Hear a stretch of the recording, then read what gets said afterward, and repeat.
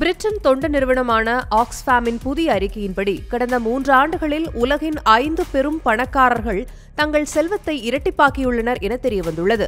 அதே நேரம் உலகளவில் ஐநூறு கோடி மக்கள் ஏழைகளாகியுள்ளனர் எனவும் அந்த அறிக்கையில் கூறப்பட்டுள்ளது. அப்படியென்றால் கோவிட் பெருந்தொற்றுக்கு பிறகான காலகட்டம் செல்வந்தர்களுக்கு மட்டுமே சாதகமாக மாறியிருக்கிறதா? உலகின் பெரும் பணக்காரர்கள் பட்டியலில் முதல் ஐந்து இடத்தில் இருப்பவர்கள் Elon Musk Bernard Arnault Jeff Bezos Larry Ellison மற்றும் மார்க் சக்கர்பர்க் கடந்த ஆண்டு இந்திய மதிப்பில் முப்பத்தெட்டு லட்சம் கோடியாக இருந்த இவர்களின் சொத்து மதிப்பு தற்போது எழுபத்தி இரண்டு லட்சம் கோடியாக அதிகரித்துள்ளது.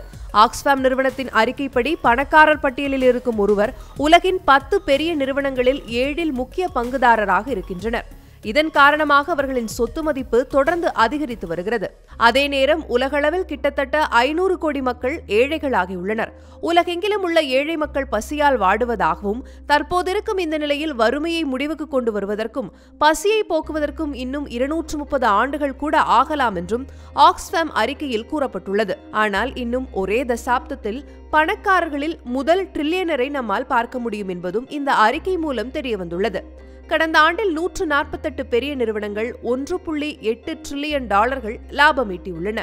கடந்த மூன்றாண்டு சராசரியை விட இது ஐம்பத்தி இரண்டு சதவீதம் அதிகம். இந்நிலையில் உலகளவில் பணக்காரர்களின் சக்தியும் பெருநிறுவனங்களின் சக்தியும் பொருளாதார ரீதியில் சமத்துவமின்மையை அதிகரித்திருப்பது அறிக்கையில் தெரியவந்துள்ளது.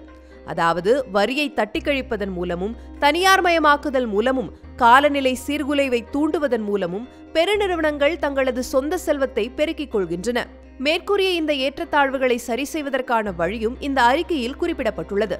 அதன்படி ஏகாபோகமாக ஒருவருக்கு வழங்கும் தனி உரிமையை ரத்து செய்ய வேண்டும் என்றும் அதிகப்படியாக சேர்த்து வைக்கும் லாபத்திற்கும் செல்வத்திற்கும் வரிகள் சுமத்த வேண்டும் என்றும் பெருநிறுவனங்களுக்கும் தனிப்பட்டவர்களுக்கும் வழங்கும் முழு அதிகாரத்தை மக்களுக்கு பிரித்து வழங்க வேண்டும் என்றும் தனியார் துறைகளை ஒழுங்குபடுத்த வேண்டும் என்றும் ஆக்ஸ்ஃபேம் நிறுவனத்தின் இந்த அறிக்கையில் குறிப்பிட்டுள்ளது.